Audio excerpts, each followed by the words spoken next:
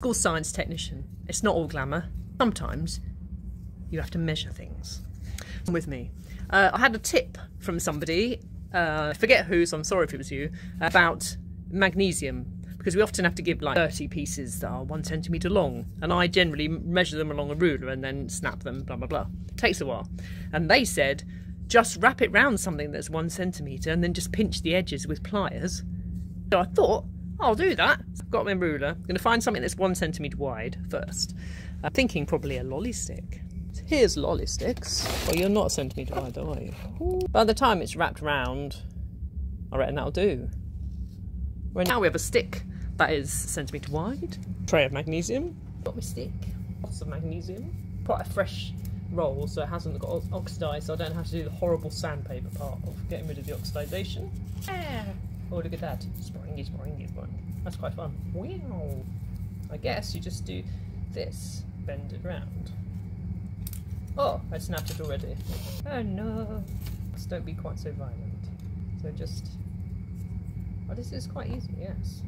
Will this work? Not all going to be exactly one centimetre, are they? But then they aren't when I do it myself because I'm not doing it accurately. Each one of these is a little bit bigger than the last one, isn't it? Then get off stick. I've got a twitchy eye and it is driving me insane. Pinch.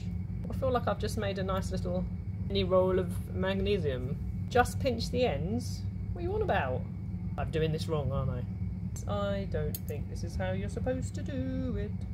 What the hell did you mean? Lovely person on the internet. Because I don't know. Because now I've just made a roll. And maybe they meant like zigzags. Do it like zigzags. Oh, it's like a Christmas candy cane, but flammable. Like this, and then pinch the ends. Oh, that might work. Now it's like a little flat spring. Pinch. Oh, yeah. Bing. I don't know if that's quicker, is it? Oh, we can do lots at once, but put loads in at once like that. I feel like I'm doing this wrong. I've mostly made a mess. I'm sure the pliers are really a necessary part of it. Let me just do one more, but now with the proper method. I am what is known in the trade as cat-handed. I think this is working. You can get off there. Hmm. And just you can just squeeze it in your strong hands. Ah, there. I will adopt this method. Are those a centimetre long? Where is my little ruler? I've lost my little ruler. Where did I put it? Underneath the tray. Are you a centimetre? Wow, you actually are. Okay, this method is now the method. Thank you, person who suggested it, and sorry that I can't remember your name. Or if it was you, suggest this tip.